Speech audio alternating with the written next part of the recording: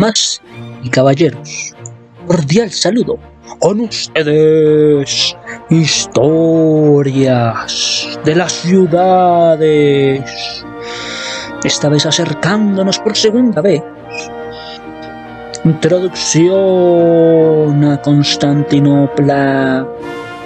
Introducción a la historia de Constantinopla. Que terminas conociendo a Estambul. Y conoceremos personajes como lo fue Justiniano I. ¿Por qué? Es que es necesario conocer el imperio romano de Oriente, el cual sería el imperio bizantino. ¿De dónde vamos a encontrar al señor Constantino? ¿De dónde vamos a encontrar al señor Justiniano? Bueno, pues del imperio bizantino, del oriente, del imperio romano. Venga, primero con Justiniano, entonces. Bueno, claro, no es Justinianopla, no, Constantinopla. Entonces viene después Constantino, por favor, por favor. Entonces Justiniano trae las políticas de restauración del imperio romano, la segunda Roma. Querían que Constantinopla fuera segunda Roma. Y por eso Justiniano, muy justo, no me entiendes, Justiniano el último de los romanos, dirían. Esto lo dirían los historiadores. Justiniano, el último de los romanos. Se plasma cuando recupera parte de los territorios del imperio de Occidente. Oiga, Justiniano alcanzó a recuperar parte del territorio de la antigua Roma, del antiguo imperio romano, pero de Occidente. ¿Mm? No solamente recupera parte de lo que no es Oriente, sino de lo que es Occidente, ¿Mm? sino que también resulta que con el general llamado Belisario obtuvo una importante conquista contra los vándalos que acechaban en el norte de África estaban ubicados estos vándalos. Y era un reino ostrogodo. También. Vándalos, reino ostrogodo también. Entonces, venga obteniendo control de los bárbaros, más de, cinco, más de 500 años, los territorios de cuáles territorios estamos hablando. Mira, estamos hablando de Dalmacia, de Dalmacia, de Sicilia, de la península itálica y también de Roma. Entonces los territorios son Dalmacia, Sicilia, península itálica y Roma. Mira, la cuestión era entender por qué al comienzo iban a decir que iban a estar gobernando según los procónsules y no según los prefectos, siendo que los prefectos, prefectos, pretorianos, prefectos pretorianos. Mira, ahí vamos a encontrar un señor llamado Liberio, Liberio, no Oliverio, no, Liberio. Y él reclama la parte del sur de la península ibérica, entonces él está reclamando la parte del sur de la península ibérica. ¿ah? No es península itálica, es Iberia. Entonces él establece lo que se llama la Hispania. El señor Liberio establece parte de la Hispania. Y la provincia del Imperio Bizantino. Entonces es una especie como introducción a la, al Imperio Bizantino gracias al señor Liberio, quien está en el territorio del sur de la península ibérica. Entonces la introducción al imperio bizantino es ¿dónde? Bueno, cualquiera diría que es el oriente del imperio romano y ya. Pero resulta que aquí el señor Liberio está diciendo que estableció Hispania en la provincia que está en el imperio bizantino. Pero la provincia que está al occidente, hágame el favor, parte de una campaña militar pero esto todo partió, no, no fue Liberio, sino que Liberio parte en la campaña militar del señor Justiniano, del último romano. ¿Qué pasa? Pues se forman como partes de campañas militares de Justiniano. Entonces son partes, una partecita, otra partecita, unas cuantas partes de las campañas militares de Justiniano. Ah, ya. Mira, entonces las campañas militares de Justiniano restablecen el occidente del Mediterráneo europeo. Mm. Digamos que se aumenta el ingreso a millón de monedas de oro, no. Ellos llaman sólidos. Un millón de sólidos, por favor. Antes, las monedas de oro se llamaban aureos. Aureus. Bueno, es que llega Constantino y entonces dejan el nombre de sólidos para llamarlas como tal monedas de oro. Que Constantino hace unas reformas a nivel institucional con la administración y con los militares, quitando los prefectos que eran los ministros y poniéndolos como simples observadores. ¡Qué dolor! Es Constantino, pero entonces Constantino se le agradece la labor de la administración porque va a ser una división que va a adquirir prestigio por la división administrativa en la cual empieza todo a ser más organizado. Bueno. Y es, entonces Constantino ayuda a mejorar también la pureza de las monedas y el peso de las monedas. Antes eran monedas de oro. Justiniano entonces conquistó el pueblo, la costa este del Mar Negro. Mira, Justiniano en una de esas campañas militares que hizo Justiniano, no solamente iba a ayudar a Liberio en, la Hispania, en, en, el Imperio Bizantino del siglo VI y VII, sino que también estaría conquistando la tierra llamada Sami, o sea, el pueblo del este del Mar Negro. Mira, cuando te hablamos de Justiniano, tienes que ver una época de resplandor. Justiniano, época de resplandor, época de reconquista. Mira, y termina en la plaga de Justiniano que termina en el año 540. Tanto así que le llamaron, hubo una plaga, le llamaron la plaga de Justiniano. A eso nos estamos enfrentando, a superhéroes, a super personajes que marcan historia en las ciudades. Entonces, acá dicen que la plaga negra, la plaga, la llamarían la plaga de Justiniano. Y además vendría una plaga negra y afectó no solo a Europa, sino a Asia, en el siglo XIV. Hasta, bueno, siglo IX, siglo XIV. Es que hay que cobrar lo que ellos llaman, Justiniano llamó el corpus luris civilicis. Esta es base del derecho civil. ¿Cuál es la base del derecho civil? Pregúntale a Justiniano, no me molestes. Mira, Justiniano, ¿cuál es el derecho? ¿Cuál es la base del derecho civil, por favor? Del Estado. ¿Cuál es del Estado moderno? ¿Cuál es esa base del derecho civil? Justiniano, dinos. La base del derecho civil del Estado moderno es una obra llamada Corpus Luris Civilicis, Civilis, realizado por Quaestor Sacripalati. Y ahí vamos, ahí vamos. Mira, es que Justiniano en una época de resplandor hizo una compilación uniforme del derecho romano, hizo una compilación del derecho romano. ¿Por qué? Porque Justiniano era un superhéroe, un pibe. Entonces, es una compilación uniforme del derecho romano. ¿Y qué con eso? Ay. Mira, cuando dicen que compiló uniforme el derecho romano, entonces dicen que hay una base del derecho civil del Estado moderno que se llama el Corpus Luris Civilis, que fue realizado por el Quaestor Sacripalati. ¿Y qué? Bueno, mira, entonces, hasta ahí vamos. Tenemos que la cultura bizantina tiene un programa de construcción también entonces la cultura bizantina. Vamos entonces a hablar ahora de cultura bizantina. ¿Qué pasa con la cultura bizantina? ¿Por qué tanta vaina? Bueno, es que en la cultura bizantina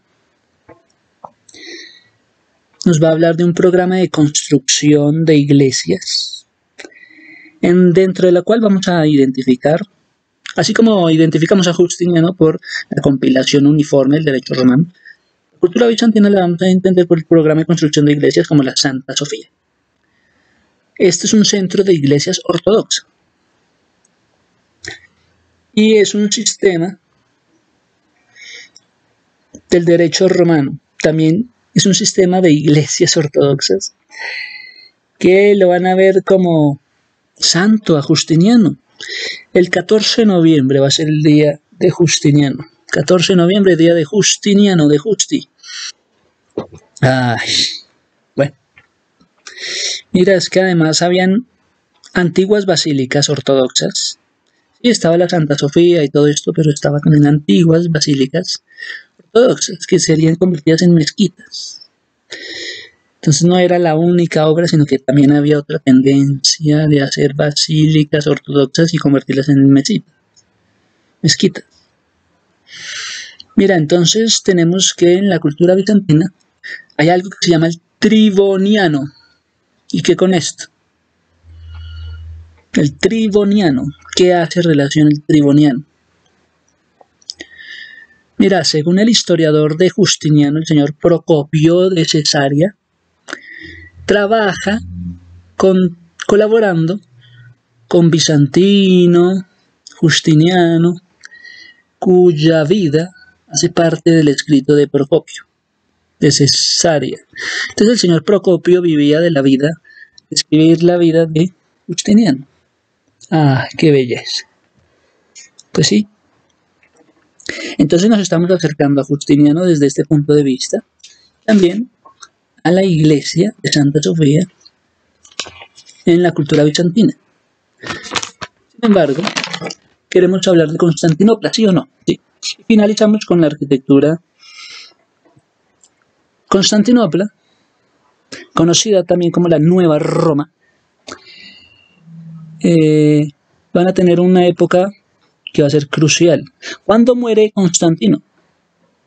Constantinópolis, algunos llamaban Constantinópolis, otros llaman Constantinopla. En el año 395 muere Constantino. El imperio se divide en dos. El imperio se divide en dos cuando muere Constantino. ¿Y qué? Pues mira, la capital del imperio romano del Oriente Oriente y Occidente se dividen los del Oriente. Vámonos con los del Oriente siempre, que son como más pilos. Mira, los del Oriente estarían a cargo con Teodosio y el hijo Arcadio. Pero vámonos con Teodosio, pues este tendría que librar batallas con los godos. ¿Y quiénes son los godos?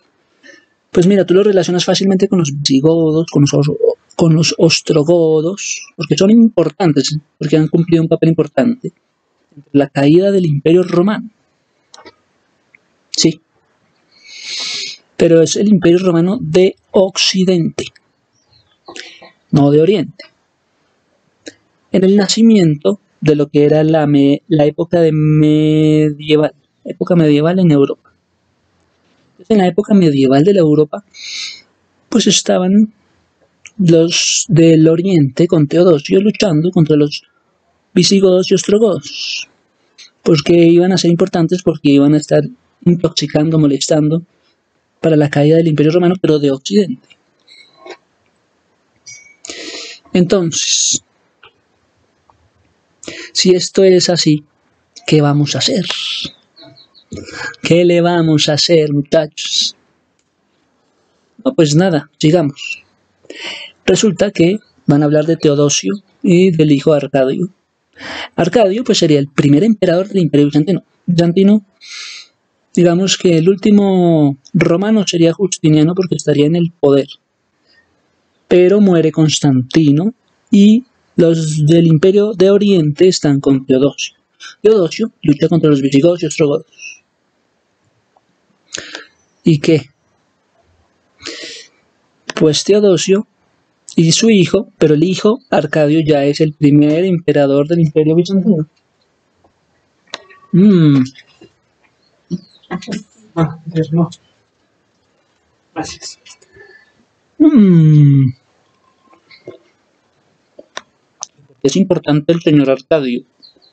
Mm, Mira, es que necesitamos hacer una introducción al imperio bizantino. ¿Quién es el primer emperador bizantino?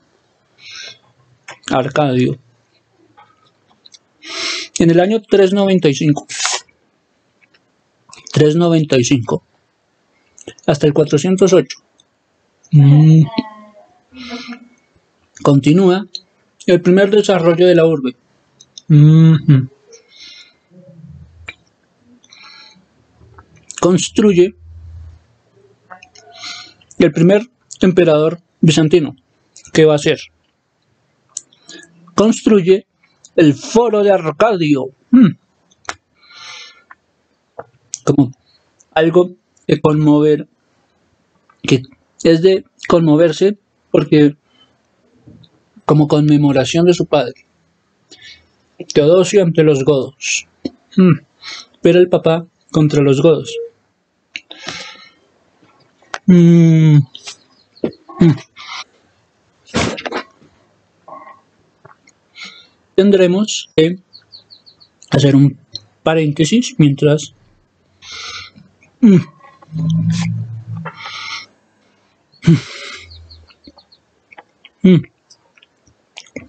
Ok. Ahora vamos a hablar de las cruzadas. ¿Cruzadas? ¿Hay cruzadas en, Constantinopla? ¿Mm? ¿Mm? ¿Mm? Sí, hay cruzadas en Constantinopla. Tras una intervención militar desde Venecia. Tras una intervención militar desde Venecia. Híjole. Ah, la defensa bizantina empezó a sentirse débil, a derrotar, a estar derrotada la defensa bizantina. Hmm, ¿Por qué? Mira, hubieron cruzadas en Constantinopla. La defensa de la ciudad no es una defensa Constantinopla, es una defensa bizantina. Empiezan a estar debilitados. Hmm, es que hubo primero un incendio voraz en la ciudad, generando pánico. Y pues las cruzadas estaban ya muy cerca. Y las cruzadas vieron que no habían rechazado, no habían puesto, no rebasaban las murallas. Hmm. Viendo que no podían detener a los usurpadores, porque los usurpadores estaban atacando porque estaban esperando que les pagaran una deuda a esos usurpadores. Usurpaban esperando que les pagaran su deuda. Mm. El señor Mursuflo depuso asesinar a todos estos usurpadores. Les puso el estate quieto el señor Mursuflo asesinando a los usurpadores. Luego un nuevo ataque contra una ciudad, apoyados el señor Mursuflo con las tropas francesas detuvieron a los usurpadores. Luego de un nuevo ataque con las tropas francesas ayudando, huye de la ciudad Mursuflo dejándola desprotegida. Bueno, eso por una parte. Mira, te podemos hablar entonces de otros aspectos importantes. En Constantinopla van a encontrar un libro que se llama El libro de Eparca del siglo X. Libro de Eparca. Aquí estaría la imagen detallada de la vida y también la obra, la organización comercial de cada una de las ciudades en el libro de Parca. Y aquí se van a regular cuestiones importantes de producción, producción, precios, importación y exportación. Cada gremio propio, pero no, mm, no monopolio, no, cada gremio propio como un monopolio. Pero comerciantes que no pueden pertenecer a más de un gremio, solamente a un gremio, un comerciante a un gremio. Tenemos entonces otra vez que explicar esto. Constantinopla es la nueva Roma. Y muere Constantino, ¿y qué pasa? Pues ya sabemos que se divide en Oriente y en Occidente gracias a la muerte de Constantino. Cuando muere, pues hay una fragmentación del Imperio Romano. ¿Sí? Y ahí van a entender que muere Teodosio, el señor Teodosio el Grande. Entonces se hacen foros de Teodosio. Es curioso, pero de ahí en adelante todos los líderes, como el hijo de Teodosio, que también hizo un foro de Arcadio, asimismo Teodosio hizo el foro de Teodosio. ¿Y qué? Esto en el siglo IV. El foro de Teodosio estaba rodeado de edificios civiles, públicos, con el material del mármol. También estaba rodeado de iglesias, de termas, de decorados, de pórticos, de capiteles del noroeste. Ajá. Mira, hay un personaje que tal vez no es muy conocido, el señor Miguel VIII. Este nos va a hablar de una dinastía importante de los paleólogos. Señor Miguel, en el año 1259, ya saltamos al año 1200, ¿listo? Con el señor Miguel nos vamos al año 1259, hasta el 1282. ¿Y qué? El señor Miguel VIII, de la dinastía de los paleólogos, hijo de Andrónico Paleólogo, de Teodora Paleóloga, Andrónico Paleólogo, Teodora, paleóloga. Miguel viene de los paleólogos y reinó él como un emperador bizantino. O sea, qué interesante. Tenemos que el primer emperador de los bizantinos se llamaría Arcadio, hijo de Teodoro. Pero también tenemos, ya en el año 1200, al señor Miguel VIII, un emperador bizantino de la dinastía de los paleólogos. Mira, entonces el imperio bizantino viene primero, después viene la caída de Constantinopla. Entonces no contaban con que primero iba a estar Imperio Bizantino. Bueno, sí, primero va Imperio Bizantino. Luego, no es que no esté Constantinopla, Constantinopla sí iba a estar, pero iba a sufrir una caída.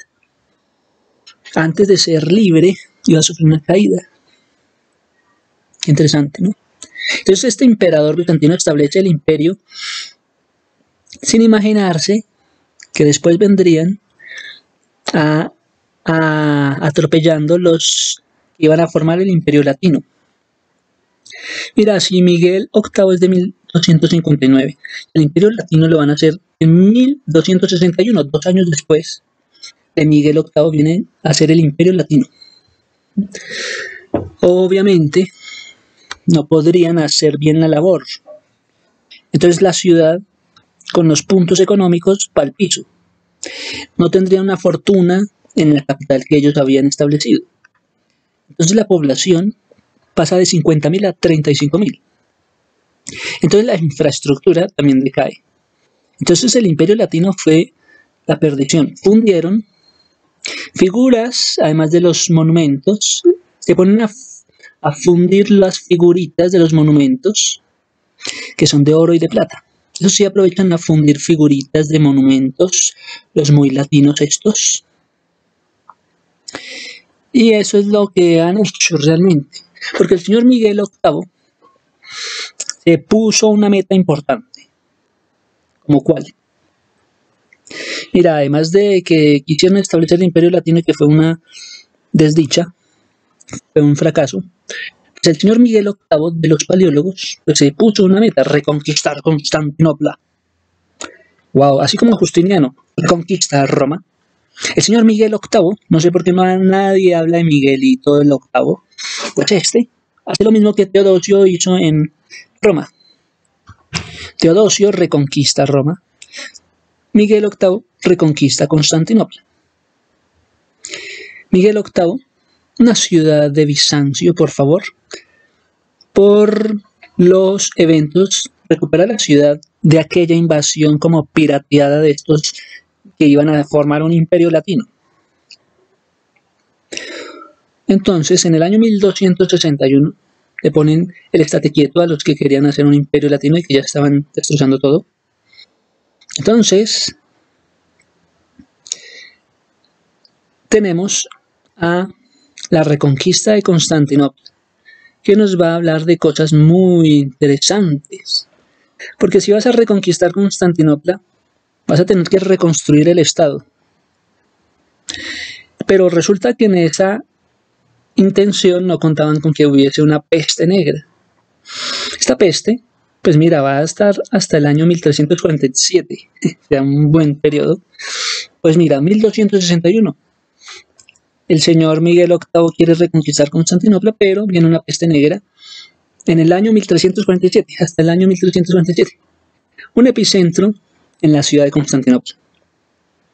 Además de esta peste, hay invasiones de dos frentes de ataque. Por un lado están los serbios, por otro lado están los otomanos, que quieren aprovecharse para hacer de Constantinopla un Estambul. Entonces los turcos están ahí, por frente por enfrente de ataque, con los otomanos, los turcos. Pero también los serbios estaban atacando por el otro frente de ataque. Entonces, ¿qué pasa? Tras sufrir las derrotas, por culpa de los otomanos, que se toman este nombre, Gallipoli. Para ellos, el Gallipoli tiene que ver con la poli, bueno, el Gallipoli se han tomado los otomanos. En medio de una expansión hacia el sur de los Balcanes. Bueno, tenemos entonces esta situación en medio de una reconquista de Constantinopla. ¡Qué dolor!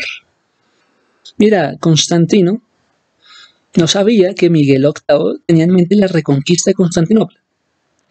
No sabía que había un palacio de, de Blanquerna al noroccidente de Constantinopla. Pues mira, por su parte, Teodosio II, el hijo de Teodosio I, fueron terminadas imponentes murallas de Constantinopla. ¿Quién edificó las murallas de Constantinopla? Teodosio no, el hijo Teodosio II. Construye las murallas teodosianas. Estas se iban a caracterizar por un muro doble y que serían encontradas a dos kilómetros del oeste.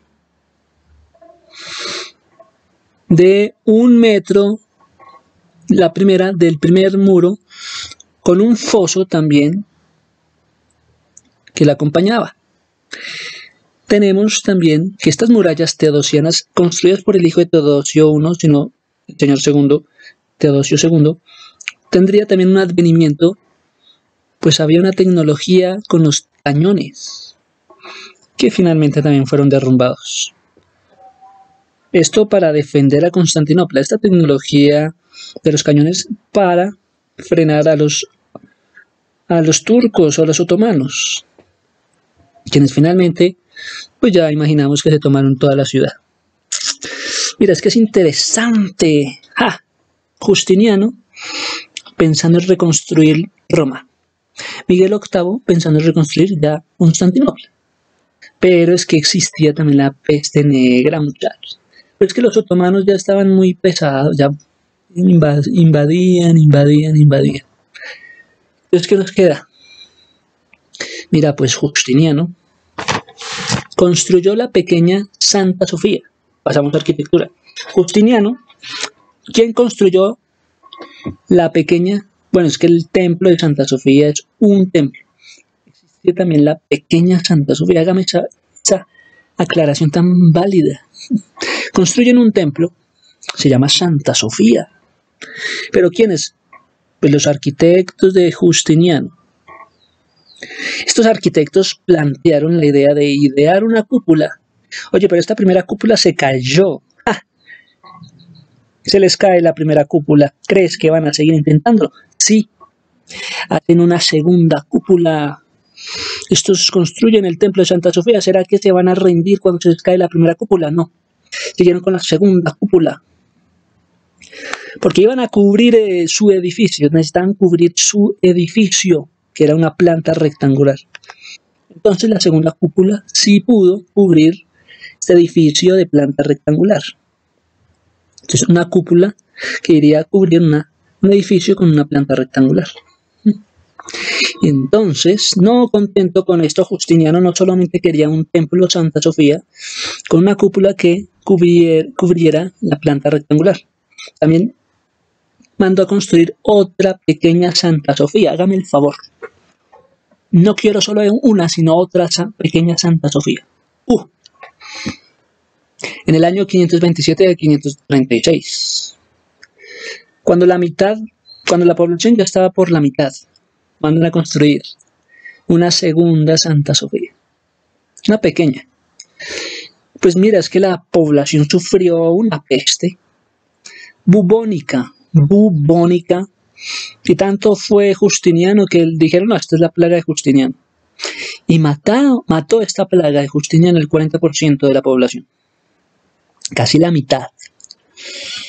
Y además una subsecuente conquista musulmana en Egipto como una fuente de grano, como una fuente era ese imperio bizantino.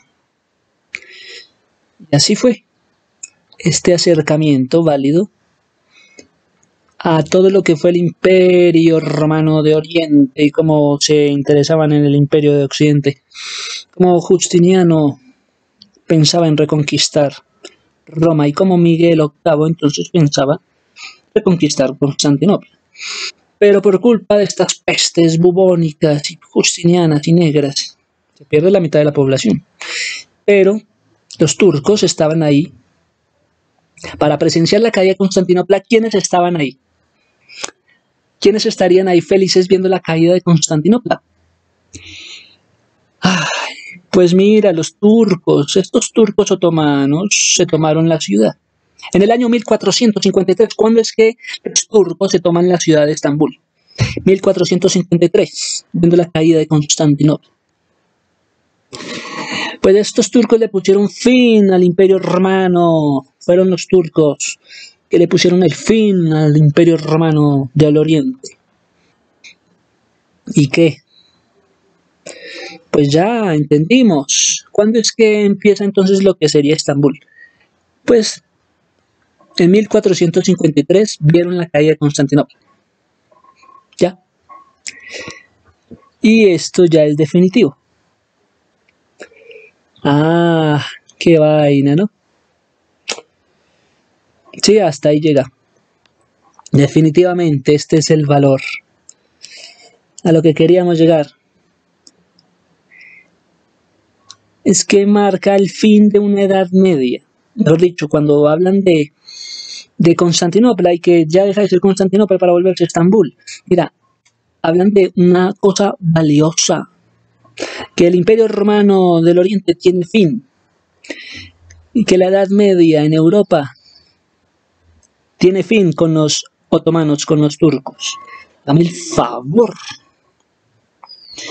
Claro, tiene sentido. Es que el señor Justiniano pues diría, vamos a hacer una nueva Roma y aquí son todos cristianos. Entonces, claro, estábamos hablando de una, un reino unificado. Y esto hasta el año 1453, cuando llegan los otomanos turcos, viendo la caída de Constantinopla, estarían ahí felices. Pues sí, se tomaron la ciudad en el año 1453 y dio fin a la Edad Media en Europa los turcos dieron fin a la Edad Media en Europa cuando vieron caer la, la que fue el Imperio Romano de Oriente, la Constantinopla. Eh, ahí, punto. Punto. Muchas gracias a todos los los seguidores de historias de la ciudad. Muchas gracias. 嗯